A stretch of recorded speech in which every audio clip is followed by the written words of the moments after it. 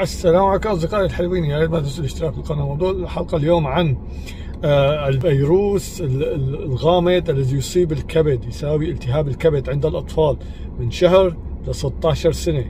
آه، طبعا في حالات كثير آه، انذكرت بالعالم. بمختلف الدول والقارات أوروبا وأمريكا وآسيا. آه، طبعا هن اطفال من شهر عمرهم ل 16 سنة. طبعا حدثت حالة وفاة واحدة.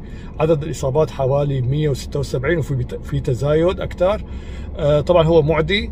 آه، طبعا في شيء 17 حالة احتاجت زراعة كبد. هي الحالات الشديدة يعني.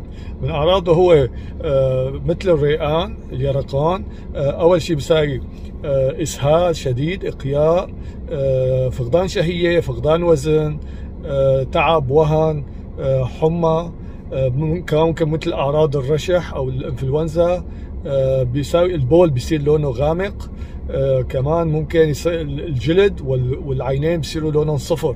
اصفرار بالعينين والجلد.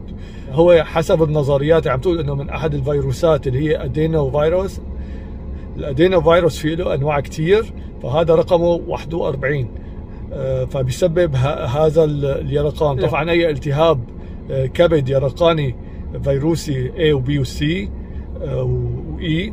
حسينا على ابننا آه، استمرار هذه الأعراض أو آه، إنه عم بيفقد وزن أو عم تسوء حالته أكثر فلازم نتوجه عند الطبيب لنباشر العلاج.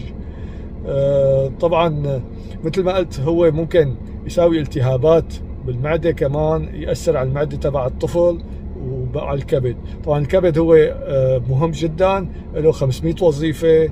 آه، شكرا متابعتكم والسلام عليكم.